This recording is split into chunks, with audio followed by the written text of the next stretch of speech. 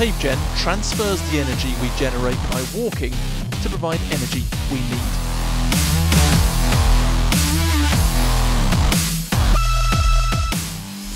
In five years, the company has grown from an idea to having international patents and installations in 30 countries.